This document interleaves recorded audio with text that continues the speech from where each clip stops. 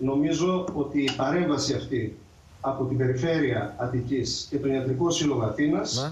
αποδεικνύει ότι υπάρχει σοβαρό έλλειμμα συνεννόησης και συντονισμού ανάμεσα στους αρμόδιους κρατικούς φορείς. Κύριε Κακλαμάνη. Αυτό είναι πρωτίστως δουλειά του ΕΟΔΗ, βεβαίως σε συνεργασία με ιατρικούς συλλόγους, με αυτοδιοίκηση κλπ.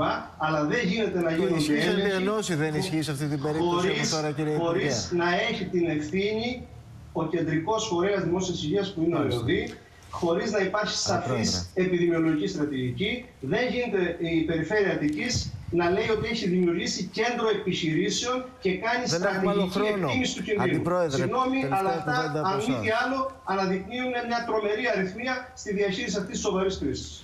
Εγώ